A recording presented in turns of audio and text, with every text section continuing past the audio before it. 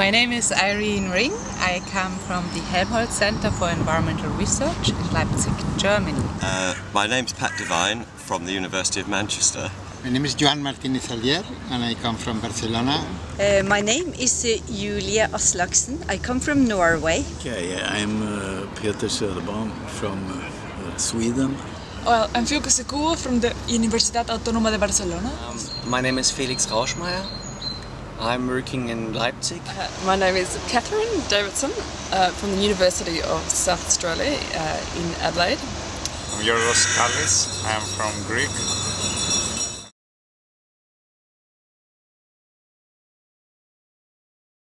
My ecological footprint must be four hectares, I think, because I travel a lot. So the footprint is the land you're using and also the virtual land to capture the carbon dioxide.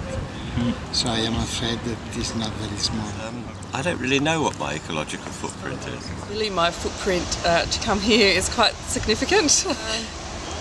I think it's reasonable. I ride my bike to work, but I do have two children, so my uh, my footprint from that perspective um, is probably higher, but I think I contribute to society as well from a social sustainability perspective. So I think you could bring it all in. Ecological footprint, uh, I try to take it easy with uh, cars.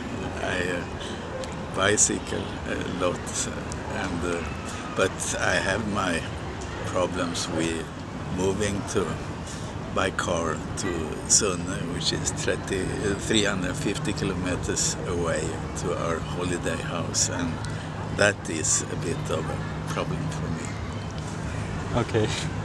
And I'm afraid my ecological footprint is quite high, living in a rich country, having many uh, conveniences of the modern world. Yeah, but I, I think about it.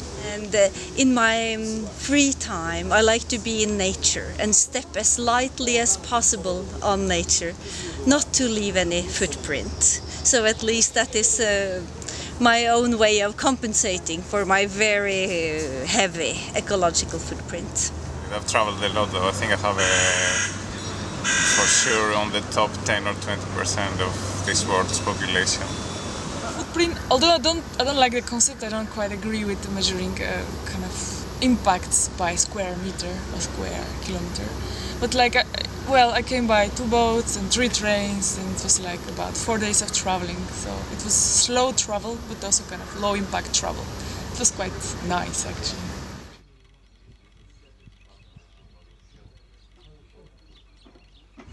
Ecological distribution conflicts environmental history, uh, political ecology, uh, valuation, mm.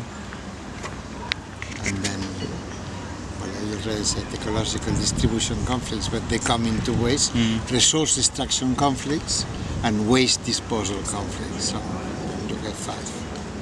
Um, political economy, uh, urban sustainability, sustainable cities, uh, uh, uh, also the what's the radical alternative for urban sustainability uh, and maybe decision making frameworks as well and indicators and criteria.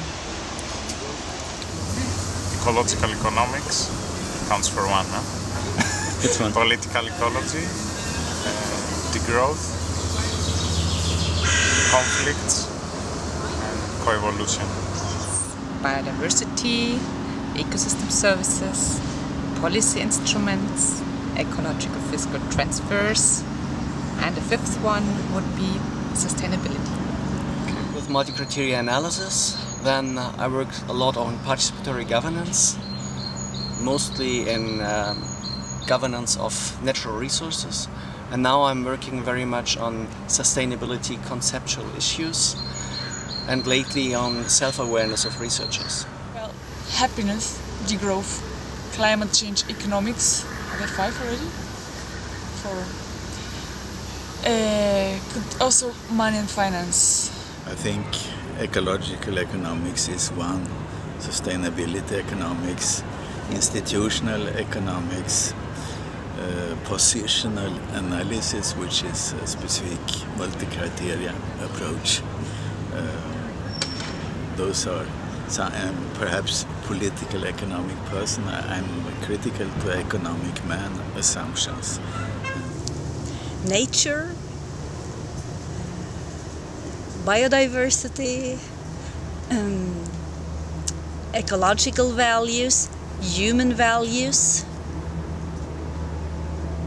hmm, science and policy.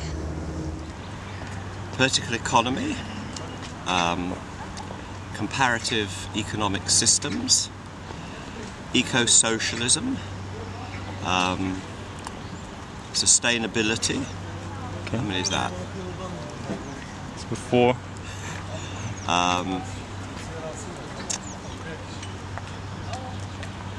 Marxism.